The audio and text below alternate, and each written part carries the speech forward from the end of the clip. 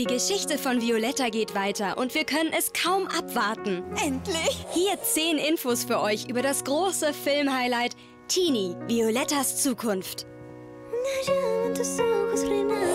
Nummer 1.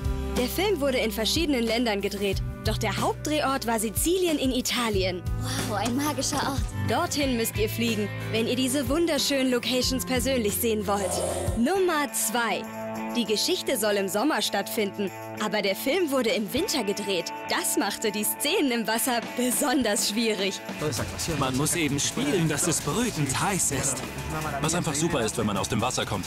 Oh, ist es heiß. Ja, herrlich. Hier herrscht eine Affenhitzeschlotter. Nummer 3. Violetta trifft viele neue Freunde auf ihrer Reise. Stimmt was nicht? Aber nicht alle Charaktere sind neu. Hey, Velu!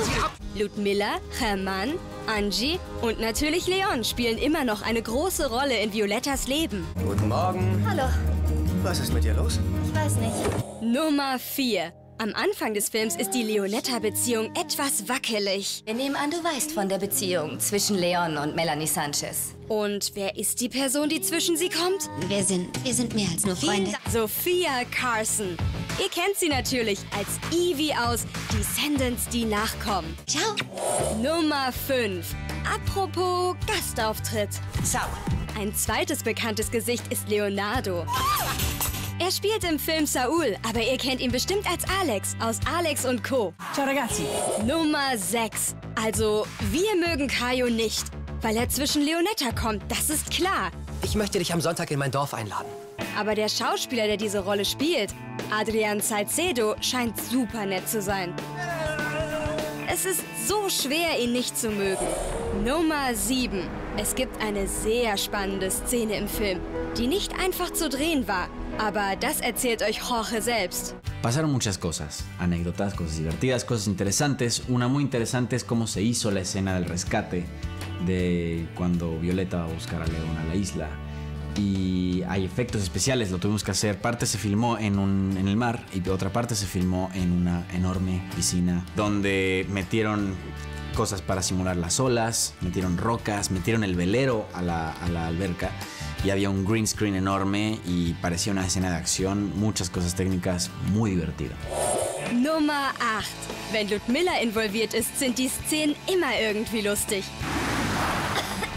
Oder, Jorge? Primera anécdota es que Mechi no sabe manejar y ella tenía que manejar, entonces terminaron, tenían amarrada, amarrado el coche a una pickup enfrente de nosotros y lo único que teníamos que hacer, yo quitaba el freno de mano y la pickup nos jalaba y ella simulaba que manejaba, pero no manejaba.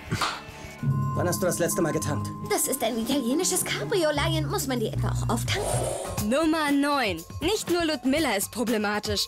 Es gab größere Diven am Set.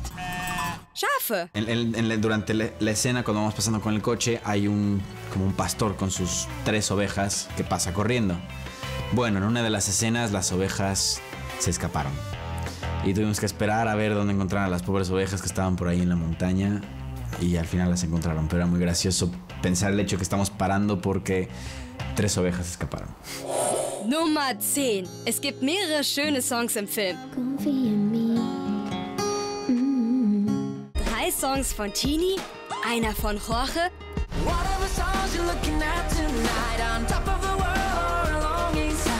ein schönes Duett von den beiden. Aunque me lastimes, en mis sueños vives. Las estrellas brillan cuando me sonríes. Das war's. Seid ihr auf den Film gespannt? Wenn ja, vergesst nicht Daumen hoch zu klicken.